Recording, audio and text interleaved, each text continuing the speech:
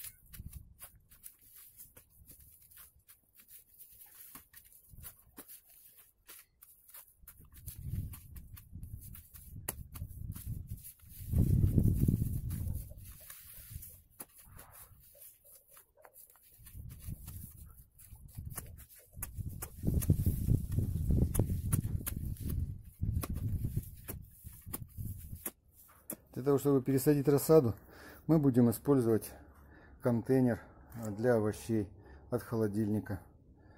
Вот, и будем выкапывать э, саженцы малины, которые растут не на своем месте. Вот здесь она не на своем месте, мы ее будем пересаживать туда, куда нужно. Вот что я здесь нашел осенью. Это же аномальное явление. Осенью созрела моя клубника. Вот неожиданно. Ну вот три кустика мы пересадили. Утрамбовали землю. Теперь сейчас вот водички сюда добавим. Так, начало есть три кустика. Уже на месте. Вот эти кустики хорошие, сильные. Мы сейчас выкопаем и пересадим.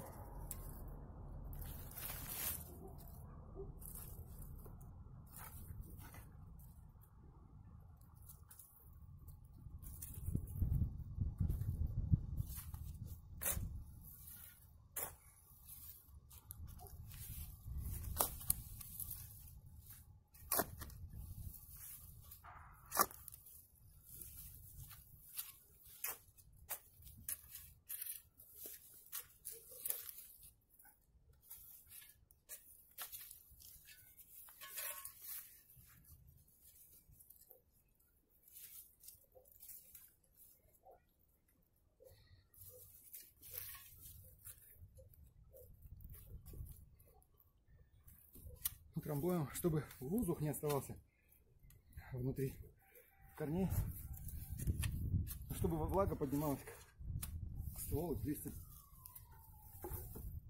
Дальше у нас идут стволы поменьше, вот такой, например.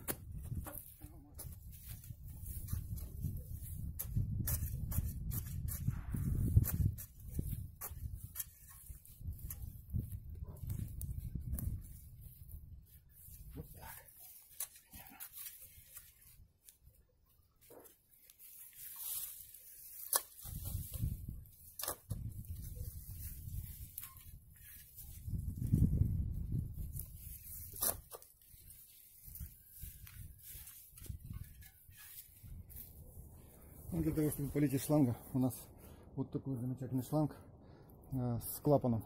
То есть сейчас, по идее, должно быть, должно быть давление. Так оно и есть. Включаем шланг, подключаем пистолет и все работает. Пистолет очень удобный, вот вот флажок, открыли. Вот этим напор регулируется больше-меньше, а вот этим регулируется струя тоньше, шире. То есть вот так вот методом разбрызгивания можем поливать. Так вот мы бассейн наливали, набирали. А так вот дальность струи регулируется. Вот и прямо отсюда можно поливать наш, нашу новую грядочку из малины. Ну, теперь земля не будет пустовать, а будет использоваться рационально.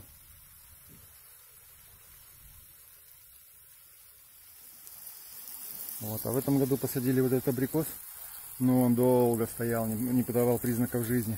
Но потом, в конце концов, он... О! Всем привет! С вами дежурный по кухне.